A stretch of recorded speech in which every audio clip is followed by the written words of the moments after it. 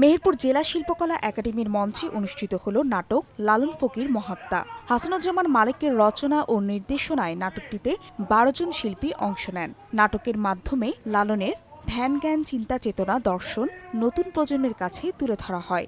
গানে গানে লালন ফকির নাটকটিতে সব ধর্মকে সম্মান করা এবং সমাজের নানা অসঙ্গতি তুলে ধরেন শিল্পীরা। আমি আশা করছি আমাদের নাট্য অভিনয়ের মাধ্যমে আমাদের লালন সাইজের প্রকৃত যে জীবন কাহিনী তার সঠিক তথ্য কিছু দর্শক শ্রোতা নিয়ে যেতে পারবেন। লালন তো মানবিক ইয়েটাই তার সবচেয়ে বেশি। অর্থাৎ সাম্প্রদায়িক একেবারেই তার ভিতরে ছিল না। হিন্দু মুসলিম সব মানুষ তার কাছে সমান ছিল। এবং হ্যাঁ তারপর সব মানুষের প্রতি ভালোবাসা।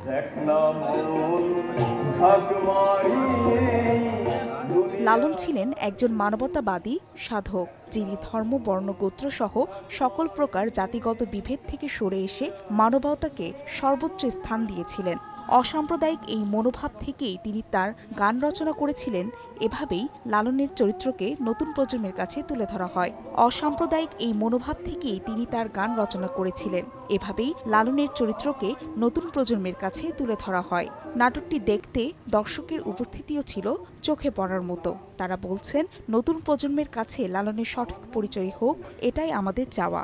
আজকে এই সাংস্কৃতিক কর্মকাণ্ডের মধ্যে দিয়ে যদি যুব সমাজকে আমরা আটকে না রাখতে পারি তাদেরকে যদি বিপদগামিতার পথ থেকে ধরে রাখতে না পারি তাহলে এই ব্যর্থতা দায় আমাদের সাংস্কৃতিক অঙ্গনকে নিতে হবে। লালন সম্বন্ধে জেনে লালনের গভীরতায় আহ, যুব সমাজ যুক্ত যুক্ত হবে।